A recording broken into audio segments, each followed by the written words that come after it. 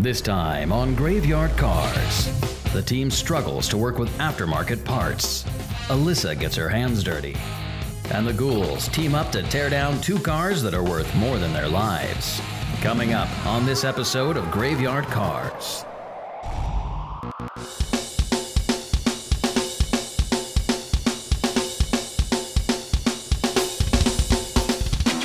Case you missed it, we got the rear valance and a bunch of pieces put on our 1970 340 Cuda. I had the opportunity to work with Allysa on all of the assembly line markings, where they go, the correct colors and shades. She did a great job. We got the drivetrain installed in our 1970 Hemi Charger RT 4-speed car, one of 56. And to top it off, I had the opportunity to drive the 1958 Plymouth Fury Christine. When installing the, the dash on the Hemi Charger, uh, everything went really well. It, it, bolted right in and everything. The only issues we had was a few hiccups with the, the bulkhead. It's uh, kind of difficult to get into the firewall from underneath of the dash because it's so high up that you got to reach up uh, really high to get the clips to snap all the way through. But other than that, everything seemed to hook up just fine. Uh, Instrument Specialties did a great job on the dashboard, and uh, it looks like it's it's going to work out really well. Each day that I'm working with the new team here, uh, I'm gaining more and more confidence. Seeing the dash, very expensive, very rare, correct original dash with the correct original VIN going into our 70 Hemi Charger, I'm at ease knowing that the new team has that under control. That sucked that thing down nice, a lot nicer than it was before, yeah. Mark. Oh my my, oh hell nice? yes, got to put on my potty dress. Yes. I don't really have a party dress that I wear on a regular basis.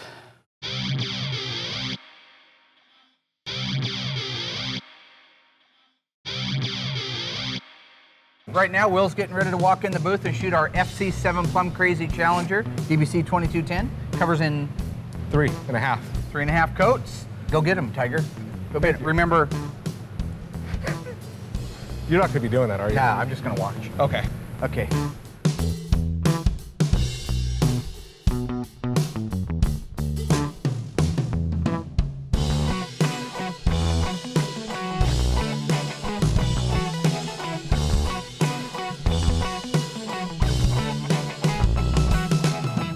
A phenomenal job.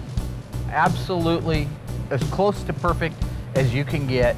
And it is a relief for me to know that because I don't have the time. I'm the first to tell you, I'm no spring chicken.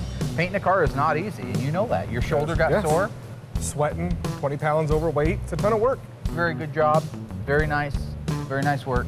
You can go ahead and clean your clean your paint gun, and we are done. Cut. Here's the thing it, it is a nice job. He did a phenomenal job. I mean, I've never had a painter other than myself lay it out that nicely before. He was kind of like saying, oh, I did the best job ever, you know, and... Uh, Are we still rolling, um, Mark? I thought you said cut. No, I was, no, we're cut. I don't know why oh, they're... What, what's you going guys on? don't even follow instructions? Right now, Mike's just finished plumbing out the 400 Magnum for our 72 Dodge Charger. So a while back, I had a customer up out of Canada that had gotten the body and the paint work done on his 72 Charger, um, but kind of ran out of steam at that point, wasn't able to put the rest of it together, sent the car down here to us. Well, once it got here, I realized it was a little bit bigger project. Number one, it, it was really um, the wrong color by about four shades. Basically, we had to redo the body and paint on the outside of the car. The other thing I had to do was put together the 400 Magnum that you see here on the stand.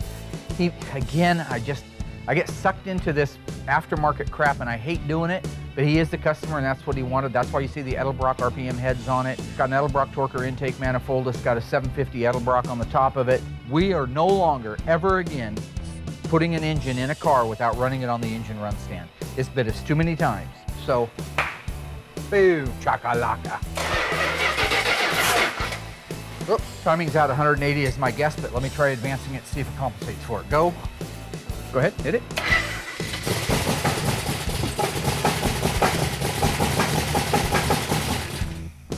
You want to double check your firing order one more time? 4366572. Right? There's coming out of the coil, but that doesn't make any sense. There's oil coming out of the coil. There's oil coming out of it? Yep. Oh boy.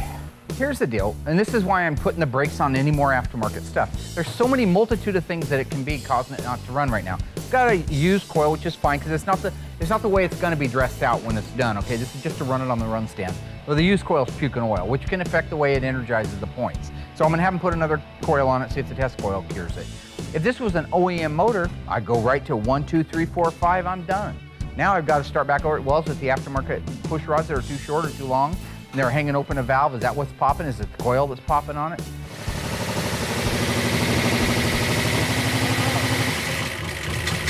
We got no oil pressure.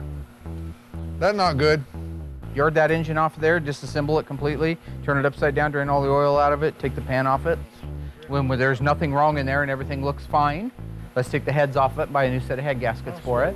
Then we'll knock the pistons out, of it, and then we'll go through the short block and find the oil galley that the, the machine shop left out. Because that's the only thing it can be, or it could be a bad oil pump. It could be all the valves are out of adjustment. Which is why I never want to do, I'm never Did you- doing did aftermarket anybody check 'em adjustment. before? I did. I set the whole thing up. I set the lash to zero, like the book said to do. They're hydraulic lifters, but they're adjustable.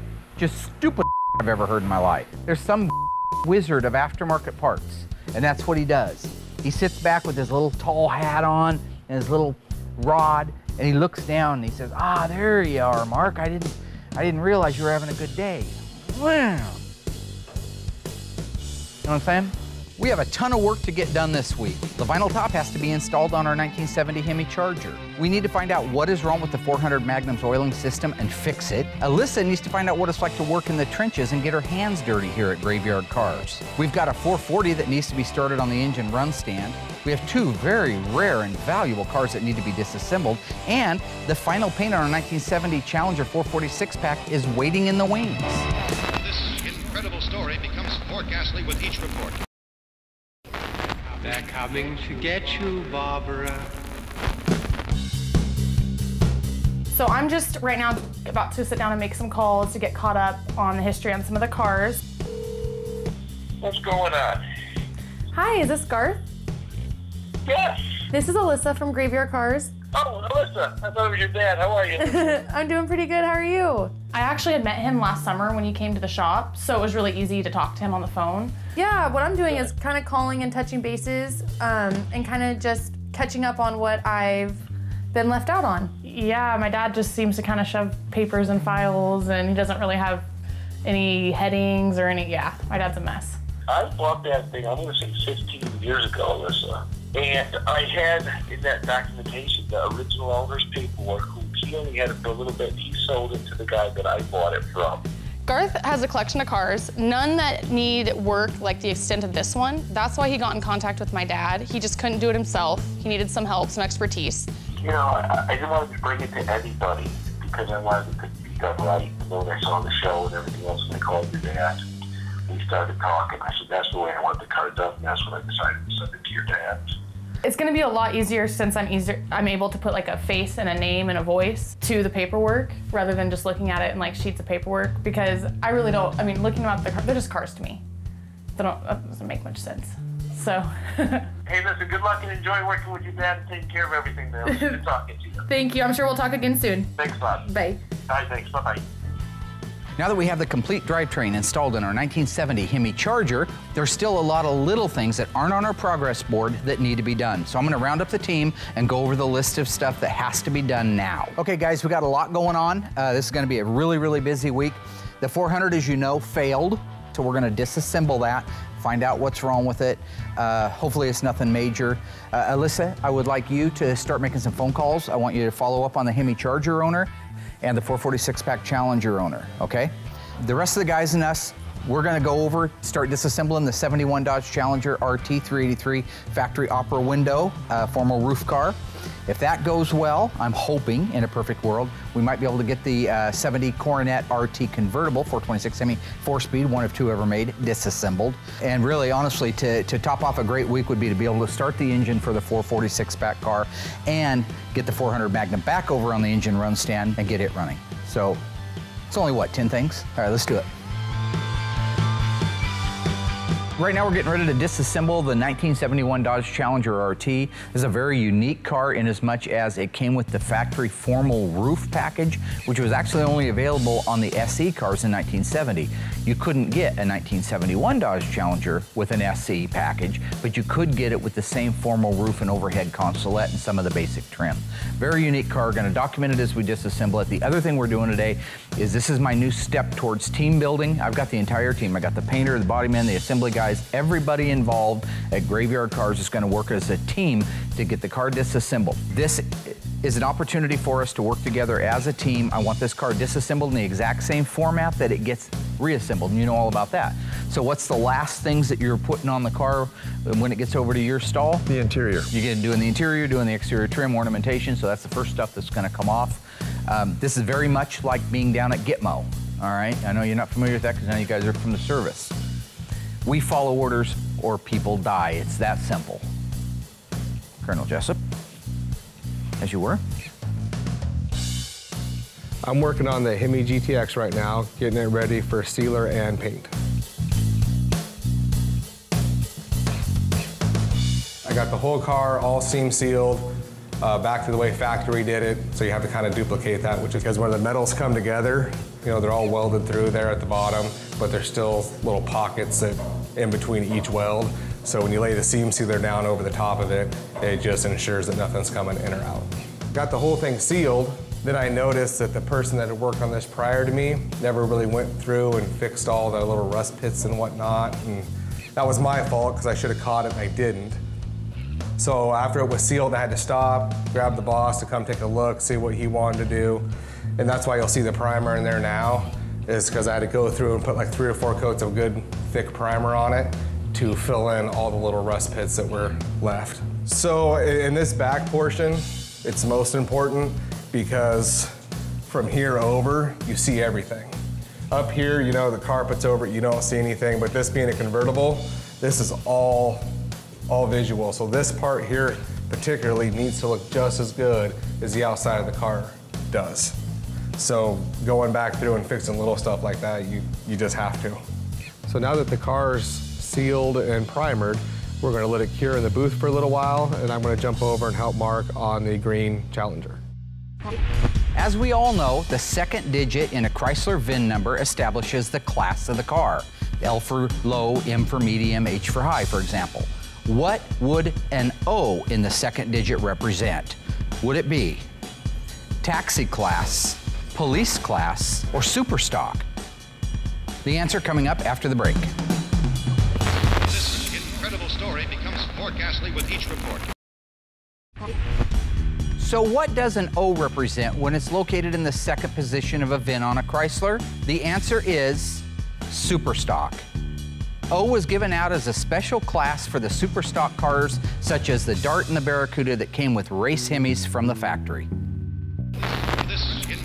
This incredible story becomes more ghastly with each report. Right now we're getting ready to disassemble the 1971 Dodge Challenger RT. Well, we got some extra pieces in here, kids. Hmm. We got a couple carburetors. We got uh, an extra air cleaner, timing chain cover. Check out that beautiful HP left-hand exhaust manifold, huh? Now remember, 71 valve coverage uses the three nipple breather on it, and then they went back to the single nipple breather in 72, 3, and 4, and 70 is also a single. Okay. And the other thing you'll notice is this valve cover is almost identical except for this. This is 71 on up. On that bulge, huh? That bulge, yep. Okay. We got an original Polyglas spare in Oh, there. look at too. there. Oh, Isn't look at nice? that. Isn't that beautiful? Now that's cool. That's the original spare tire. They were Yep. factory Goodyear Polyglas. Is it a 15 or a 14? Uh, this 71 should be a 15. Well, it depends. It could have got it either way. Remember, the cars were available with 14 and 15. There was no standard minimum tire on it. It's a 14, G70. Ah, so the car came with 14s. Interesting footnote here on the Mopars, uh, the Cuda and the Challenger, the E-bodies.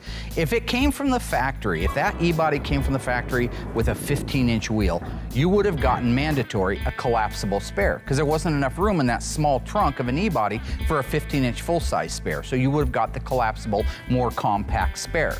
However, if you had 14 inch wheels, you would have gotten a standard 14 inch full size spare, but you could have optionally ordered the collapsible spare. Did this car get repainted at any time, or is This it? car's an original FJ6 car, which is sassy grass green. What's interesting, the owner told me, he took it in for a repaint in the mid 70s, right? Takes it into your average half-wit body shop. Average half-wit body shop pulls up a code. Says, yep, that's it, paint it. They pulled up Sublime. This is FJ5. When you're talking about the Mopar colors, uh, it can be a little bit confusing. For example, FJ5. In a Plymouth lineup, that's limelight green. That the Dodge version would be sublime green. You go to the next darker shade, which is the FJ6, and you have Sassy Grass or Go Green. This car is a factory FJ6 Go Green car. The color was supposed to be darker than what the body shop put on it. The body shop just didn't know. They went, what does it matter? Let's paint it that color. Well, in reality, it's several shades lighter than the FJ6. Hi, is this Guy? I'm just doing a follow-up call on Guy Melita on his car. I understand that your dad was the one that bought it originally. Yeah, and uh, my dad bought it when I was nine years old, 1972. He bought the car. So Guy actually found his car at a gas station. Um, him and his dad and his sister were on their way to school, and they decided to stop and take a look at it, where his dad actually ended up purchasing it. His dad was a cop for 20 years for New York City Police Department. He had promised his dad that they were gonna restore it together. Well, then you know how it is. Life kind of happens. You grow up, you get married. And then they had the big gas crisis. So they ended up parking it because gas was too expensive. And so then time just kind of passed. Guy's dad got really sick. So we never really got to do it together, so I promised I'd get it done. So Guy actually initially took it to another shop where they just overcharged him, had it way too long. And so he kind of lost hope on it ever being restored. Thank God I found Graveyard Carz and uh, get it done for him. That went well. I'm just gonna see how many more people I can get in contact with and how much more information I can get done today. I just finished priming and sealing the Hemi GTX. Now I'm going to jump over and help Mark disassemble the Green Challenger. What's happening there? Is there something, somebody going away, somebody passing on? Oh, do you want to help us pull this car Oh, apart? heck, of That's what we're looking, that's what we're looking for, is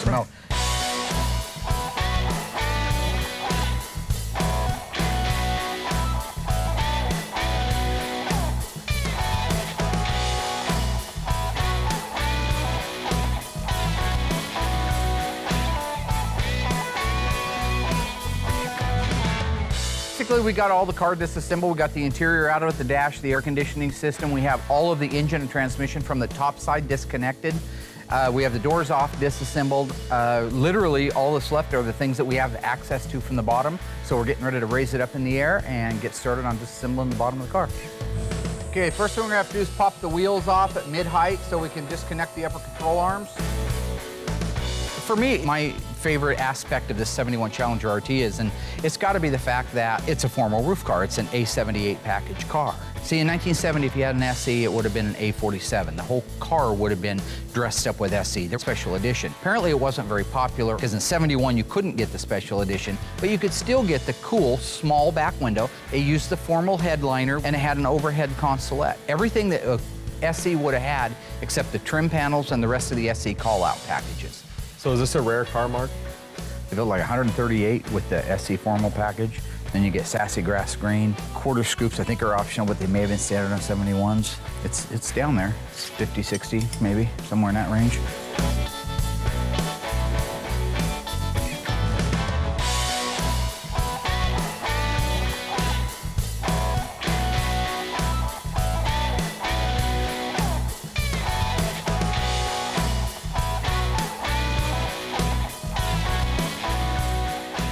Now, Royal's taking the last piece off the car, which is the SE rear window plug. This is really cool.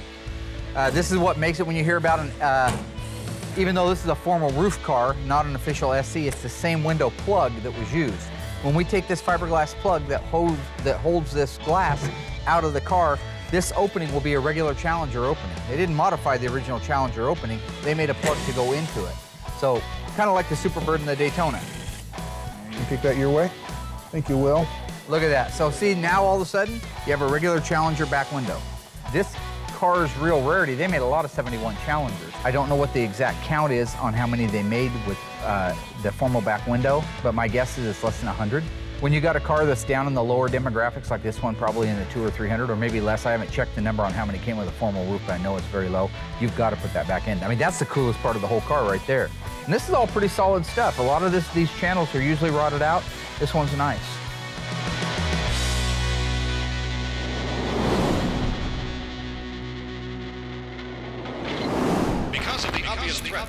Untold numbers of citizens, this station will remain on the air. Day and night. This incredible story becomes more ghastly with each report. Earlier, we started our 400 Magnum out of our 72 Charger. It started up and ran good, but had zero oil pressure. So we shut it down immediately. I had a suspicion it was an oil galley plug in the front, which is easy to miss, and I was right. However, when you take the front of the engine apart and you see that somebody missed an oil galley plug, I want to be sure the rest of the engine, which I did not put together or build, is done correctly. So I instructed Mike to disassemble the engine, mic everything, plastic gauge everything, and if it's right, put it back together again. We removed the 400 off of the engine run stand. It is now on a conventional engine stand. It's time to disassemble it and do an inspection. Hopefully there's nothing wrong inside. That would be a huge setback if there was. But if not, and there's nothing wrong, we can bolt it back together and get it back on the engine run stand soon. Gotta be careful taking these cams out. There's a gear on them that likes to tear up, so you gotta be real careful. Our 400 Magnum is ready to be disassembled. I give that task over to Mike. While he's working on that, I'm gonna work on the 70 Hemi Charger, getting the roof ready for the new vinyl top installation. So what I'm doing is, uh, when you tape off your roof, because this is a vinyl roof car, that clear that we use, that 2000, uh, 2002 clear, is really thick. And so it creates these hard lines. So even though we didn't need to repaint the roof other than the pre-paint, we do need to put the vinyl top on it. And Larry was saying he's seen in the past where these lines, these thick lines will swell up through the vinyl top. So I'm just feathering those back so we have a nice transition so that doesn't show up so bad. Hopefully show up at all, I should say. And that's not one of those things that we have to use a block on because you're not gonna see a little bit of uh, transition underneath that vinyl top like you would if it was out in the open. So I just run a tape line right through the holes where the vinyl top moldings go, and that gives me a good line to work from. I think that the factory would have painted the whole car at the same time, don't you? And it just would have been all one horrible paint job, and then they would, they'd have come back and put a vinyl top on it. So this car is a factory V1X car, which means it gets a black vinyl top. Uh, it was funny because the vendor actually screwed up and sent me a white vinyl top, which is great because remember my car from high school was a white vinyl top burnt orange car. So I, playing with the guy, I took a picture of it sitting on there and sent it to him and said, I don't care what your car was coated with, I'm putting that on. I said, I'm kidding, dude, I'm kidding. Yeah, Go yeah, yeah, I figured you was kidding, Dad. Yeah, I could tell by your reaction that you figured I was kidding. the fact that you were gonna kill me. Right. Yeah, put him in a suitcase. Makes perfect sense, right? Okay, so really I've got that about where it needs to be. We'll want to mask out uh, 18 inches with paper and then go to plastic on the rest okay. of the car. So that's ready to blow off. So with that, we're ready to go to the next step, which is just to bag the car, make sure no glue gets on the rest of it, and cut Larry loose.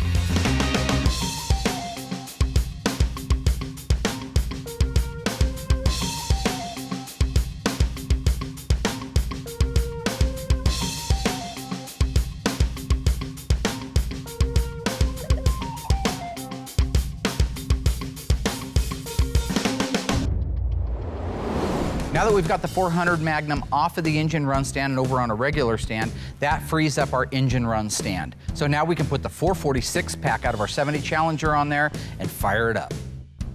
My level of confidence is 100% on the 446 pack. It will start, run, and perform like it's supposed to. Oh, look at this. Look at this.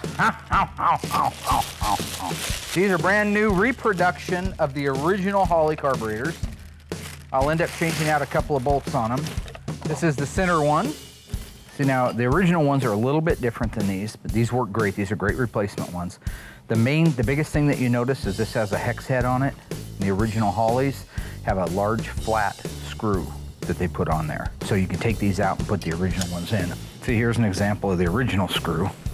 That's the flat tip instead of the hex. So once we get this thing running and, and, ready to go in the car, we'll switch these out with these. But right now I don't want to mess with the carburetors. I want them to run the way they're supposed to run. Okay, so this is the center one. Can You know how I can tell that this is the center one? The linkage. The linkage? Yeah. Yep. That linkage right there doesn't appear on the outboards. Let's open up a couple of the other outboards, the other two outboards.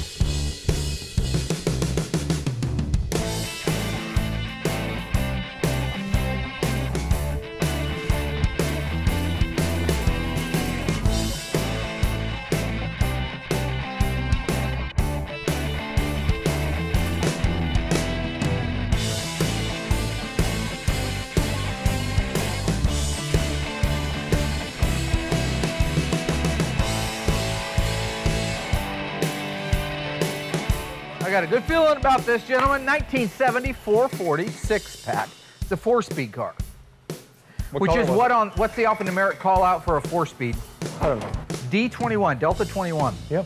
It's an I thought it. A33 track pack car with 354 gears. What's the alphanumeric call out for that? I don't know. A33. Four tens, A34. Don't run any fuel yet because I want to crank it over a little bit. You've got oil pressure? Okay, Oh. so you got fuel pump on. So let's get fuel up here to where we know it's, give us some, Yeah. she's pumping. She's pumping. Ready? Yeah. Pump it.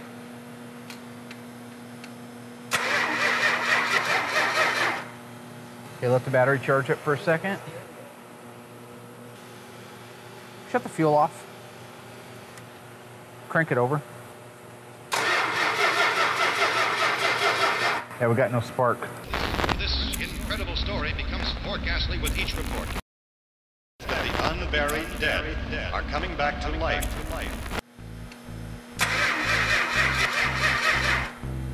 Okay, let the battery charge up for a second.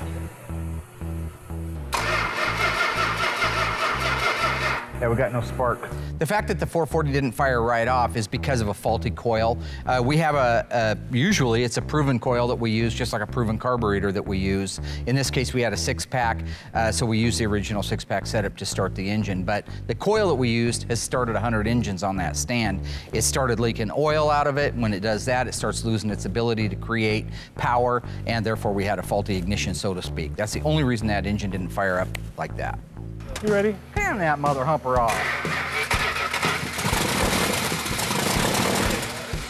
It's still Way a little sluggish. retarded. Sound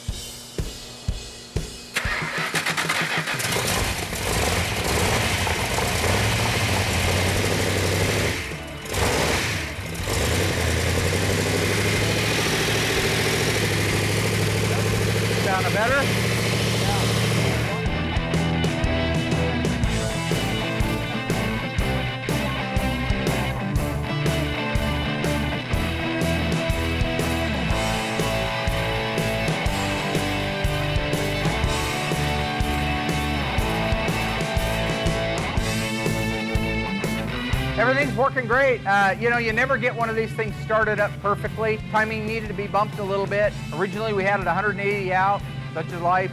But it's running now, it's running great. We got all the oil pressure is perfect, oil, water temperature is perfect. Everything is running great on it. Let it break in the camshaft for about another 15 minutes, and we'll let it cool down. Tomorrow, we'll get it moved off of that stand over onto the regular uh, assembly stand. We've got a drivetrain done. So I just got off the phone with some of our clients and went and talked to my dad to see what else I can do. Um, and he actually has something for me to get started out in the shop. I'm pretty excited. I hope that it's something to do with paint or maybe in the engine room, but I'm not sure. So what I want you to do, and I'm glad that you're excited about it, I want you to start working on helping me sort out some of the pieces. Nick's kind of been dropping the ball, which every employee always starts out a thousand miles an hour and then they start petering off. Well, Well, you also give every employee But he like did do a good job. If you look things around- to do. Usually give people like 100 different things to do, so. well, that's because I do 2,000. But Okay. you see, he's done a good job organizing up the parts room. It's looking good. Yeah. This is where he's falling apart right here. Oh my. So here's where he left off. You don't know what all these are, but Okay. this, you don't need to know what this is. This is speedometer gear for a transmission, but you could just put it there for right now. So like this right here, I can assure you there's probably lots of things like this. These are shims. So anytime What's a come- shim? A shim is something Like that you would use in a body. No, those are part of a window regulator assembly. Those are all part of windows. Okay. So, so you just, yeah, kind of maybe just start setting them into small piles. Find out what you actually have an accumulation of. Sorry, I don't mean to use that big word. Like a lot of, and then you could put those in the bins. Was that and they should- necessary? Was it? well, I was there when Thank you. you for always creating such a constructive learning environment I for bought- me. I paid for your diploma. okay, Oh get them all Where are you sorted going? out. Are you not going to help me? What? No, I'm not I don't- stand there and do that. That's grunt work. Oh my god.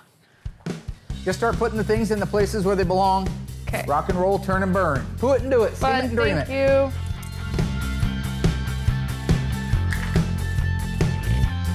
Right now, we're hitting on all cylinders. I mean, we are really punching out a lot of hardware. Things are going great. Uh, that means that our 1970 Hemi Coronet RT convertible is getting disassembled. You're talking about a car that has the wildest engine available, probably the wildest color available. It's a convertible top, it's a four speed, it's a super track pack car, and it really is an early version story of a car that was dead in a junkyard, forgotten, and left to die that came back to life because of somebody like myself two or three decades ago. Now it's just getting freshened up.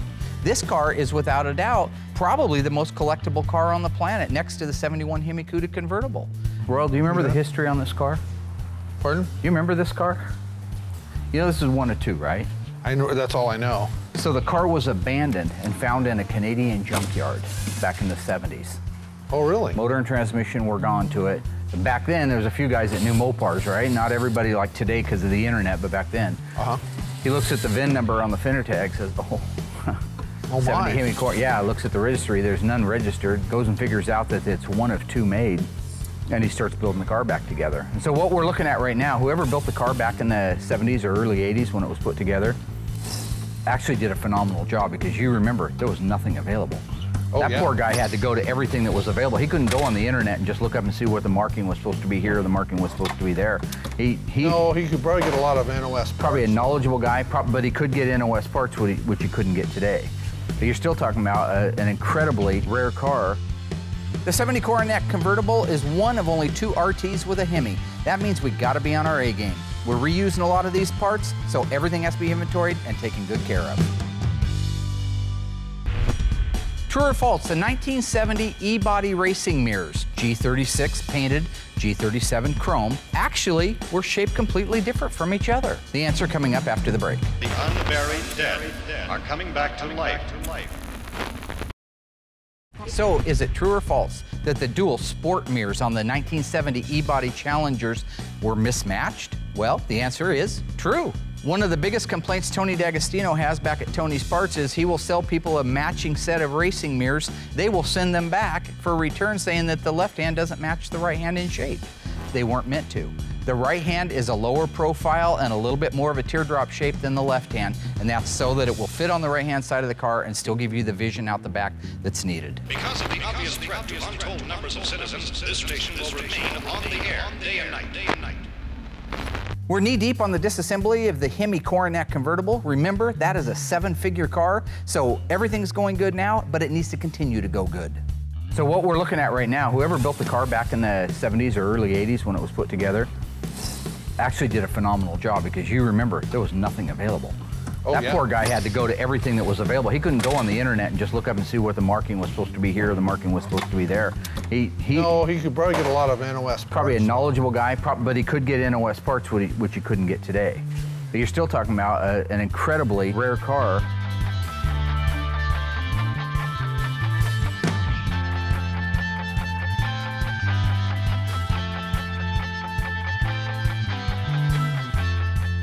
You know, it's kind of cool because when I was growing up, I mean, I read about cars like this, Hemi cars, four speeds convertibles. I never dreamed I'd be working on one. I always thought the Coronet RT was a good looking car. Like, like Plymouth, their decorated car, their celebrated car was the GTX, which is a standard 440 or 426 Hemi, available with both an automatic or a four speed. But to me, the GTX just never did it. I mean, the 67 looks like Royal's crap box RT, so that's ugly. The 70 GTX started looking better because it looks like a 70 Roadrunner quite a bit. Uh, got the air grabber hood, got some cool things on it. But I mean, you get into the Coronet, I mean, look at this car. Look at the crazy hood scoops. You- I mean, these aren't just hood scoops that are sitting there that are non-functional. These are functional. They grab the air out of this Ram Charger right here. If you look at this big old orange box here, it closes down on a very special air cleaner and it draws cool air in through those scoops into this plenum, over here onto this, and into the actual engine itself. I mean, that's some pretty cool stuff. Simulated quarter scoops. I mean, that stuff's off the charts. That's as, as much stuff as you could throw on the outside of a car. Bumblebee stripe. Take a look at the dash. This is one of the things that's interesting though about this car. This car has a tick-tock tack, which is the N85. That's right here. They call that a tick-tock tack because it has a clock in it on the inside and the outer perimeter is a tachometer. This one's actually optioned with it. Most of the cars today have it because people put them in them, but they don't all have an N85 code on the fender tag to support it. Um, back when the guy built this car, if you look at this, this is just a cover because that's all that was available back when the guy put the car together. They didn't have, you couldn't call up Dashpad Pros and say, hey, I need a nice 6870B body, or, well, they're actually different. But say I got a 70B body and I need a dash pad for it. He can he can send it right out to you, and it's got the right material, the right uh, texture, the right grain, the right everything. But back then, all you had was this hard plastic rigid uh, cover. The the little short history on this is uh, Brett Torino had it, had bought the car. I don't know when. And I certainly don't know for how much, but it's an expensive car to put in his collection because he only collects the best of the best. Um, and they went out to start it a couple of years ago, and it dropped its oil pressure and uh, started to make a uh, knocking noise. So, and it, they thought that it was a spun bearing. So that's when they reached out to me and said, "Well, listen, it's got a dent in the fender. It's got some updates that need to be done to it. Let's just send it up to Market Graveyard Carz." That's how it kind of ended up here because it, you know, if if it hadn't had the dent, if the plastic trim was a little better on the inside, like on the A pillars, or it had the nice dash pad on it and it ran like a champ, I don't know if it'd be worth investing the extra money into. But right now, it is. Nice.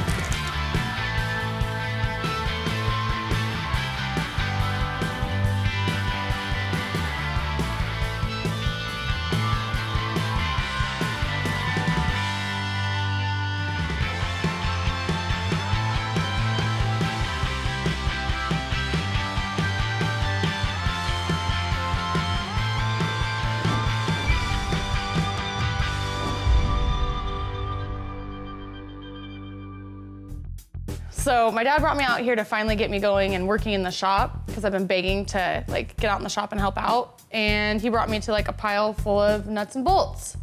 So not exactly what I was hoping for when I said work in the shop.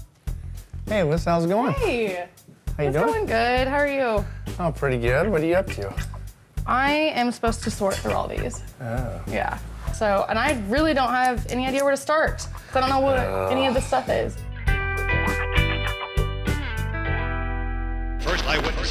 This grisly development came from people who were understandably frightened. They're coming to get you, Barbara. Hey, Liz, how's it going? Hey, How you it's doing? going good. How are you? Oh, pretty good. What are you up to? I am supposed to sort through all these. Oh. Yeah. So, and I really don't have any idea where to start. Because I don't know what oh. any of this stuff is. Yeah, I, I don't know what to tell you. It's it's kind of a I mean, nightmare. they all these look are the all same to me, is there? yeah, these are all door panels. I feel like springs. we could just like put them all in the same bay. Yeah, you know, would my dad even notice? Yeah, these bolts are really important. A lot of them are. Because even though like the aftermarket parts, they're not exactly identical to the originals. I'm so glad Dave came up and helped me out because I probably wouldn't have been able to make any progress without his help. So like, Yep, that's a keyway. This right here is a part of a bumper jack. This isn't car related, this is a trailer plug. This is like for a, a master cylinder, like a brake booster. It goes through the firewall. okay, okay, how about this stuff? This looks shinier That- than. yeah, that chrome there is almost, it's, it's pitted so bad it probably won't clean up. But it might be an odd piece that we need to re-chrome, so we'll definitely save that. Okay. Maybe So- Yeah, I don't think it's fair for Mark to give Allysa this job. I mean, it's good to learn, but just kind of throwing somebody into something that's just like a random pile of a mess like that and not stay with her and kind of help her through, you know, for a little ways to kind of get her going, it's kind of tough. But she's uh, she's pretty sharp. I'm sure she could figure it out. Okay, one more. Wait, what is this? Uh, that's actually a, a black pipe fitting It's for a gas pipe or something like that. It's called a, a reducer, so we'll just put that to the side. That goes in the plumbing department. Oh my gosh. Thank Have you fun. again. All right, see you later. See ya. Um, I have a little bit better of an understanding on how to organize this stuff, but it's still kind of, it all still kind of looks the same to me. I'll probably be here for the next like week. As we saw earlier, the initial engine run of the 400 Magnum was a bit of a failure as we had no oil pressure. Once we disassembled it, we found that an oil galley plug was missing out of the front underneath the cam. I authorized him to completely tear the engine down, mic everything, check everything for tolerance, and reassemble it so we can get it back on the run stand. We are at that point right now. The engine is going back together. As soon as he's done, we're moving it to the engine run stand. The thing that comes to light with the aftermarket parts is it wasn't built or engineered to go on the car, not by the manufacturer of the car, by somebody else. Two is, it's not what I do. I do original equipment stuff. I just am old school and I believe in saying that the customer's always right. And I say, yeah, we can do those valve covers, that intake manifold, that carburetor. Sure, go ahead and build your own engine. And all these things fall on my shoulders. Because even though I didn't maybe build the engine or I didn't order the headers or I didn't, you know, order the intake manifold, I'm the guy that has to make it work in the car. I, if I spend 40 hours chasing down a bunch of aftermarket crap that doesn't fit or doesn't work, ultimately they're coming back to me. And they're not compensating me for that. That's why I hate aftermarket parts. If I want an aftermarket parts, I'd order aftermarket parts. We got fuel. Here comes coil. Hit the button, baby.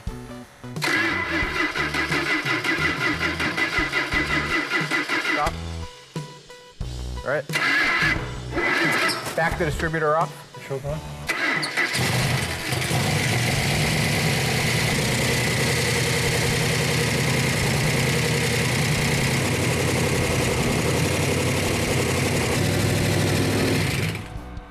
Oh, that runs good. That runs very good. Royal needs to adjust the rockers, but that's beautiful. So, you know, it's awesome. I mean, it, you can't always be 100% sure, but I was reasonably sure that's what it was. So uh, now that now that we're out of the woods, he'll finish adjusting the valves. We can get it over to the paint shop get it painted and ready to go back in the 72 Charger. Sorry about that. That Earl. sounded better.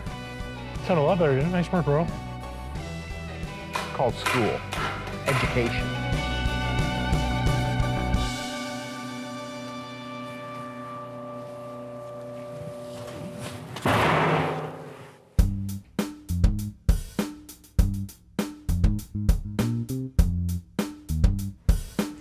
Look at that. Look at you go. Hey. Nice job. Wow. Yeah. You're literally just finishing. Yep. Wow, you already vacuumed and everything. You got all the nameplates out? That's cool. Really, for the most part, God. we won't be saving those, just so you know. Okay. But, but I told you to, you know, get stuff like that out, so it's just good for me to have a mental inventory. This looks good. Yeah. This is the this is the brainless stuff that your predecessor, way back, also your former significant other, had a difficult time with this kind of separation. This is what happens when the when my seed, the fruit of my loin, I Thought we talked about, you know, that. The fruit of Let's my just go loin. with daughter, please. I feel like my week was really good, really productive. I got a lot of their clients' files done. I made a lot of phone calls. Um, I was able to get in contact with some of our clients and actually get them to email me some of their pictures. Also, I was able to get started on the parts room, so that was really exciting. I was kind of hoping for a little bit more for my first project out in the shop, or maybe getting to like work with somebody. But it was really nice that Dave came up and kind of helped me out. I didn't feel so alone up there, but I think it's a great start. I just hope that maybe my dad will give me something a little bit more interesting next time. Yeah. like an okay. Now we're gonna job. get. I Now we got stuff to do in the shop. See, now you know what it's Oh, like. 'cause You have an acclimation going together, right? Before that, I mean, God, don't let me lose out in the shop. Well, I'm just saying that you got, you know, little babies don't come out of the womb and just take off running like Carl Lewis. All right, they gotta get, they gotta crawl, then they gotta stand up, then they gotta walk around and Oh, start whatever, playing I'm with just- plugins with their fingers. Oh my That's how we had to do it as a kid. We didn't have those safe That would explain what you stick your finger you. in a plug-in and blow your kneecaps off. Allysa did a fantastic job cleaning up the extra parts that were out there on the bench in the parts room. Uh, kudos to her, but it's not really time for a parade. We still have so much to do. Our 340 CUDA is ready for its final polish so it can get delivered to the customer. You know, as I do the final waxing on this car, I think to myself, what a great week it's been. We got the complete dash assembly steering column and vinyl top installed in our 1970 Dodge Charger RT. Diagnosed, disassembled, repaired, and reassembled our 400 Magnum. Allysa did a great job reaching out to our customers and documenting, as well as cleaning and organizing the miscellaneous loose hardware that was still remaining in our parts room. The 446 pack got put on the engine run stand and fired up, ran beautiful, and we got two of the rarest cars on the planet completely disassembled and inventoried. For me, the proudest moment is Will's phenomenal paint job on the FC7 1970 Challenger RT.